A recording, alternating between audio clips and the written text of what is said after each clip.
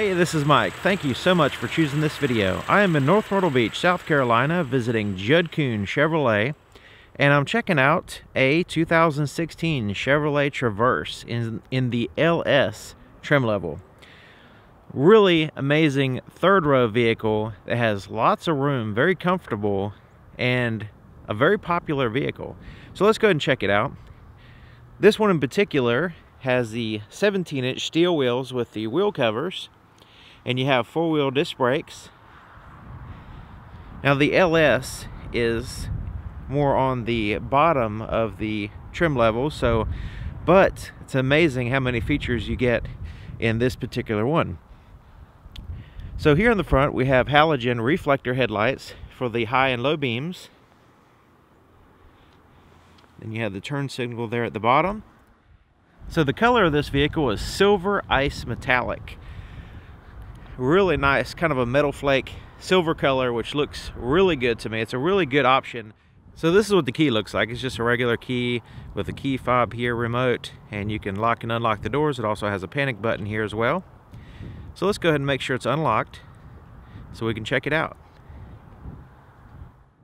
Before we go too much further, I want to show you the window sticker just in case you need to get any of the information off of there. You can use the pause button to get everything in detail.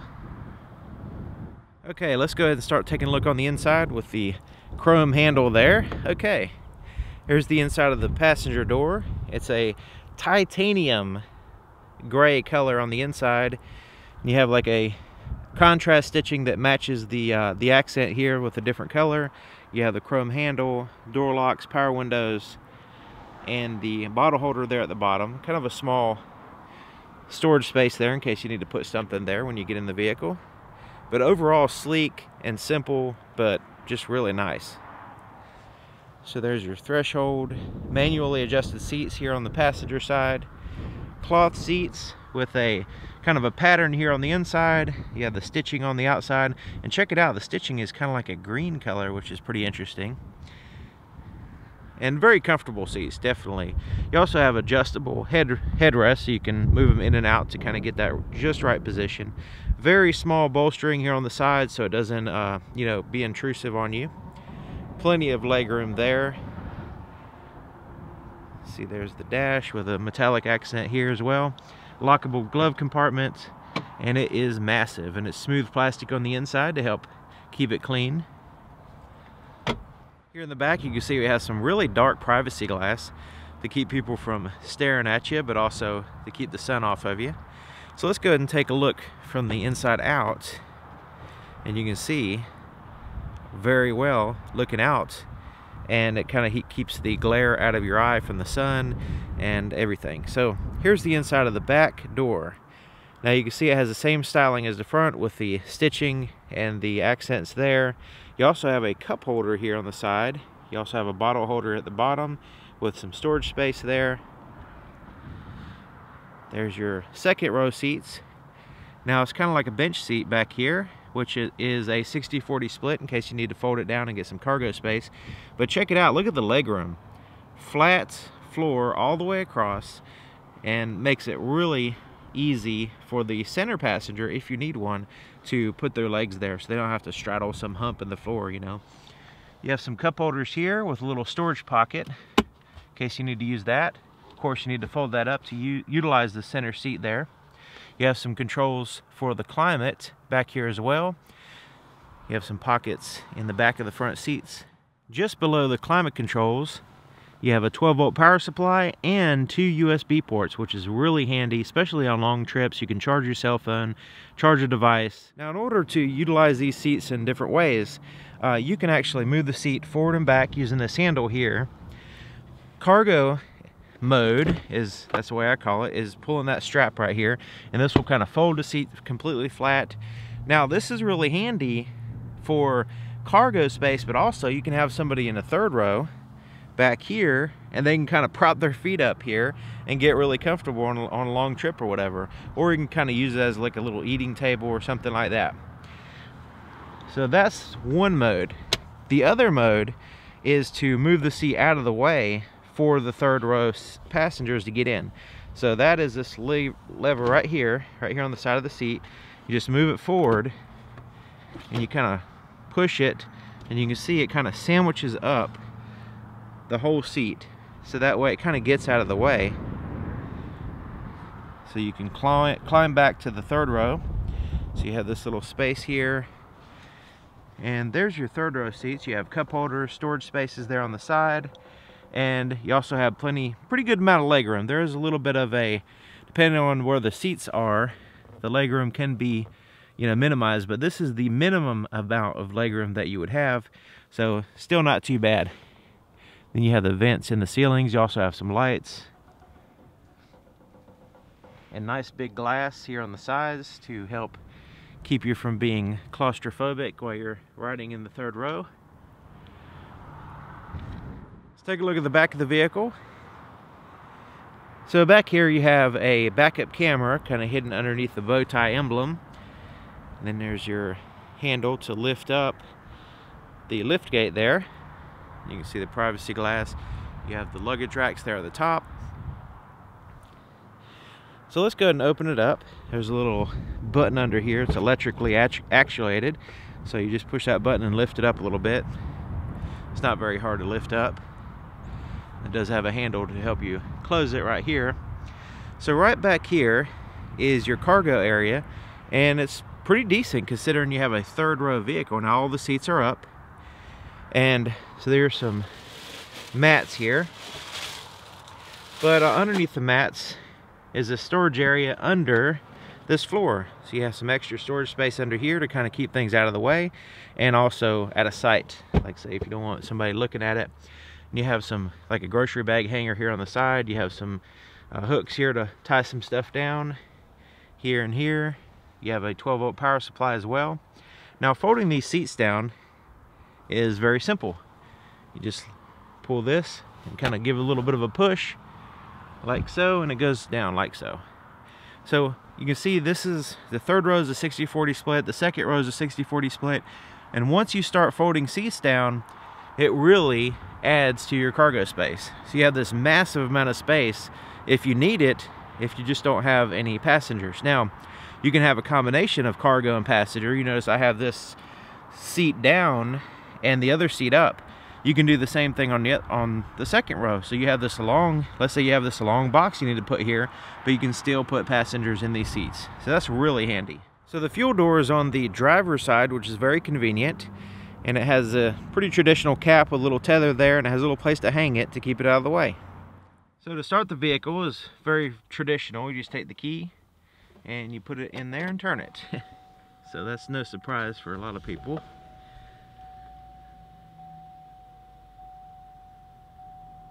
So let's take a look here. The floorboard on the driver's side, you can see I have plenty of leg room. Everything is out of the way.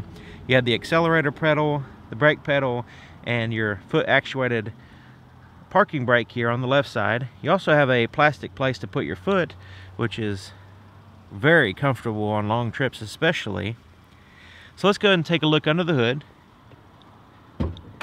So to open up the hood, you, just reach in a little bit to the left of the center line a little bit to the left of the center line and down. You stick your fingers down and you'll feel a little lever. You move it to the right and you lift up the hood. It's right here. You see that? So you're going to reach in, go like that. Okay, so once you lift the hood a few inches, it's going to go up the rest of the way. Easy as pie to get underneath the hood of this vehicle. So here's your engine. Now you notice everything's covered in plastic, but trust me, there is an engine underneath that big plastic cover. And the engine is a 3.6 liter, 281 horsepower V6 with 266 pound-feet of torque. Now it's mated to a six-speed automatic transmission as well. Very smooth and quiet and pretty much everything is well organized even though it's covered up. It is a uh, it just kind of looks nice and tidy and neat underneath the hood. Let's take a look here on the driver's side doors just like the other side except for it has a few more buttons handle there your pocket at the bottom you have the power windows now the front are one touch down and hold it to go back up And the back windows are, you gotta hold it down and up. So they're not automatic. So the side mirrors are adjusted here. You just pick a side left or right and then you can adjust it with this little pad. You have the door lock controls there. Power adjustments here on the driver's seat. So you have a forward and back and then you recline there and then you're, this is for your uh, lumbar support. So you can really get that comfortable position. So right in here is your headlight controls. You have a off. So if you want your daytime running lights off, you just go this way. And then you have automatic parking lights and then your headlights there. And your this is your dimmer switch, which will also actuate your dome light if you need to use that. And the steering column is a tilt and a telescoping steering column. So that way you can get the the right position while you're driving. Okay so let's go ahead and take a look here on the inside. Now I am very comfortable. I have plenty of leg room. I'm all sprawled out. Have plenty of leg room knee room. I can put my foot here almost straight out and I'm about six feet tall so that's really good so let's go ahead and start here on the steering wheel it is a synthetic steering wheel with a kind of a synthetic texture here to kind of replicate leather. But it's really durable and easy to clean synthetic steering wheel and comfortable. It has a really good thickness to where it doesn't, you know, dig into your bones too much while you're gripping it. It's pretty firm. It's not really that soft or anything, so uh, it's a good thing it's, a, you know, kind of a thick steering wheel. So here on the right, you have a kind of a cluster of buttons here. You have a volume for your radio. You can change your source for your radio, say AM, FM, satellite radio, CD player, that kind of thing. You can cycle through your different presets by going up and down here.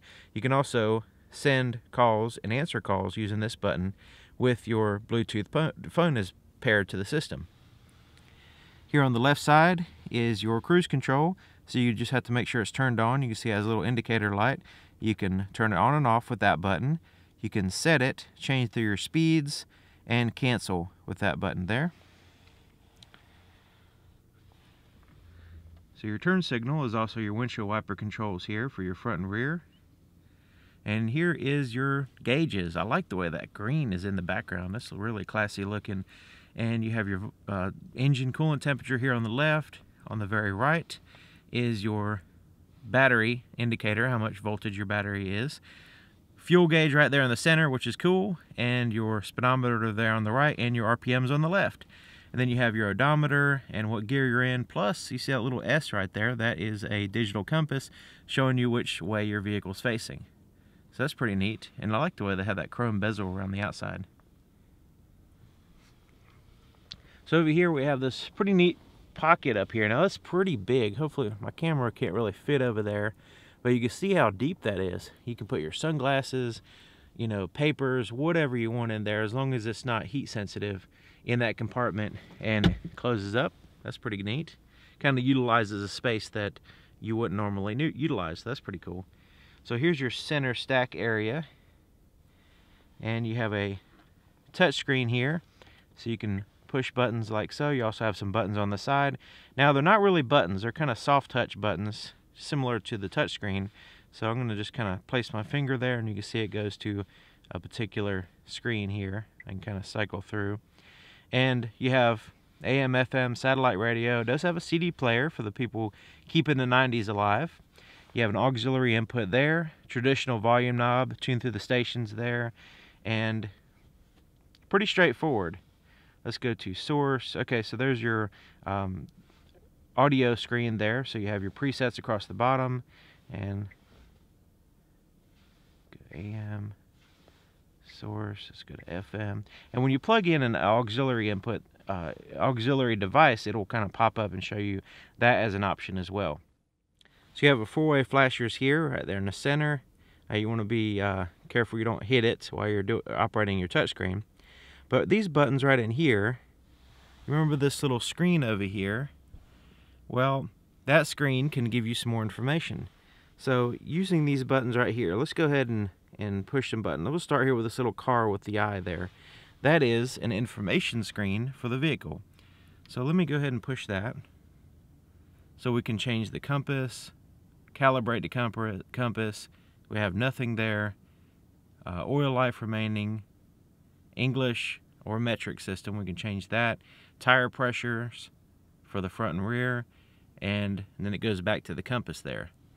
Now the other button here beside it, let's go ahead and push that. So we can change the language. Auto door lock, so this will lock the doors when you, um, you know, put the vehicle in gear if you want that. Auto door unlock, it'll unlock the doors when you stop. Remote door lock, you can adjust that if you need to. So there's, there's kind of a quite a few uh, different approach lighting, vo chime volume, lots of different things. I'm going to go through quickly because there's a lot of different things. We can go into factory settings if we need to. Okay, so and at any time we want to go back to the original screen, we could just push this button here. It'll go back to your odometer and your compass. So that's what those buttons do. That's pretty nifty that you can get some more information right there between the gauges. So down here is your climate control. So you have your fan speed, your air conditioning, turn that on and off there. Then you have your temperature and where you want the air to blow with your rear defroster. You can recirculate the air. You can also adjust the rear uh, temperature as well. So right in here, you have your traction control. You can turn that off if you need to. Default will always be on. Only reason why you'd want to turn it off is to if you're stuck in the snow or, or mud or something and you need to spin tires to get out, uh, you can turn that off if you need to. So right here is your rear windshield wiper controls. So this controlled with the wipe, the wash, and just a wipe there.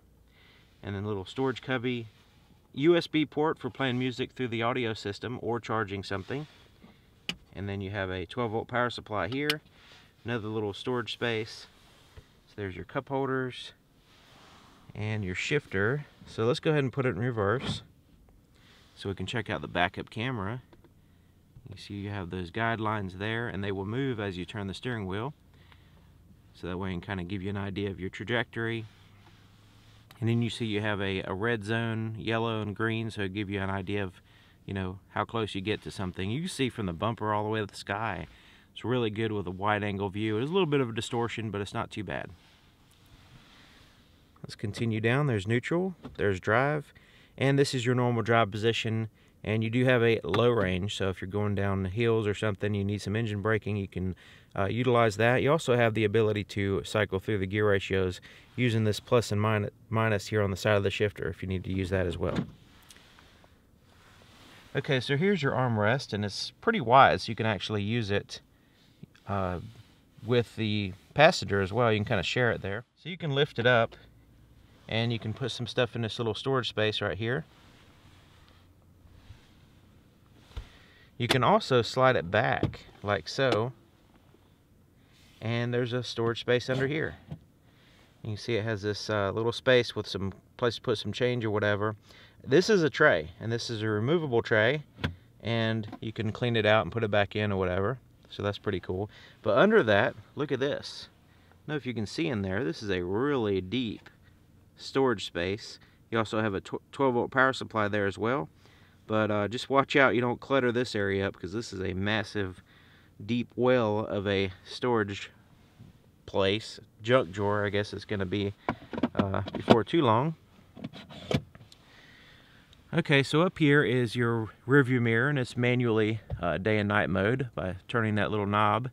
And then you have your OnStar voice recognition and your SOS buttons there in case you need some help. So right in here you have some tap lights in case you need a quick reading light like so. And there's your microphone for your Bluetooth system so it's right there right in front of you. So the visors have mirrors and lights on both sides and check it out you can also slide it out like so so you can get that right position. The sun is rather tricky when you're driving it always wants to get in your face Okay, so let's take a look at the visibility here in the back. So I have one third row seat down, but uh, the other ones are up, just to kind of give you an idea of what it looks like. Now the headrests don't seem to get in the way very much, so that's really good. You have lots of glass to look out of, so you can kind of see all the way around. You also have the backup camera helping you out as well. All right, there you have it. 2016 Chevrolet Traverse. So, thank you for watching. Really appreciate your time. If you have any comments or anything, leave it in the comment section. And thank you to Jud Kuhn Chevrolet for allowing me to show off an awesome vehicle. And I'll see you guys next time.